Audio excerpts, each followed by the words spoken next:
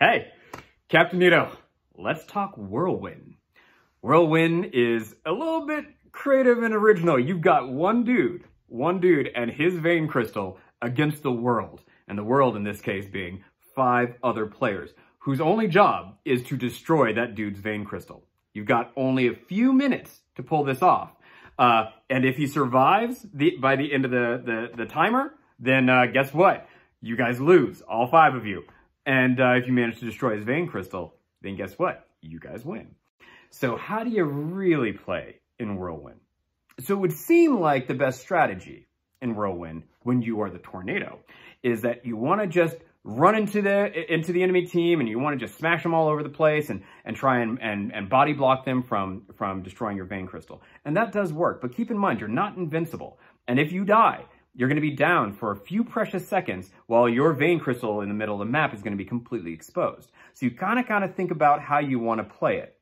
The best strategy when you're the tornado is actually to balance the damage that the vain crystal is taking and the damage you are taking such that neither one of you quite dies. If you're lucky, by the time that timer hits zero, you're down to maybe 10% of your health and your vain crystal is down to 10% of your health. That's a good tornado. That means that you balanced absorbing damage from the enemy team and backing off a little, letting the vain crystal take a little pressure when you are about to die too. So you have to watch your health. If you just go mad dog in there every time, boom, you will eventually get destroyed and you'll be down for a few seconds and your vain crystal is going to get, I mean, just going to be completely knocked out of the park. So balance the damage, step one.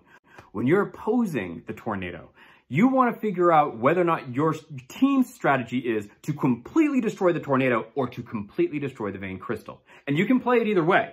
If you want to destroy the tornado, all five of you should spend every bullet you have, because you don't have a lot of time, on killing the tornado. Why? Because then you get that gap of a few seconds where the vain crystal is exposed. Now, if you don't want to do that, or if you guys feel like you're ranged, like you're playing on as snipers, there's a lot of distance for tor the tornado to cover, that's great. Then you guys can actually step back. Don't focus on the tornado. Never spend a single shot that hits it. Every point of damage you want to hit that vain crystal. That's your best chance of succeeding. So you've got to figure out that strategy quickly. If you see your team is dogpiling the tornado, jump right in. Because if you guys divide your damage, the tornado will win. All right, last tip. When you're playing as a tornado, when you hit a player, you get a small speed boost. So if you're lucky, come out of the brush, hit that first player, and it'll give you enough of a speed boost to chain yourself into bumping into every other player. And that's great because you can knock them back against away from your vain crystal, which you want to protect. But even more so, as a tornado, you still have boots. And these boots are amazing.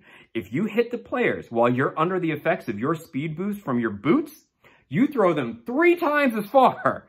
Three times as far. So your best strategy as a tornado, start in the brush, boots out, hit the first dude, use that speed boost to chain yourself bunk, bunk, bunk, bunk, bunk through all of his friends. That's the best way you can get every single one of them. A little bit of damage, a little bit of team fight, and next thing you know, your Vain Crystal is sitting pretty.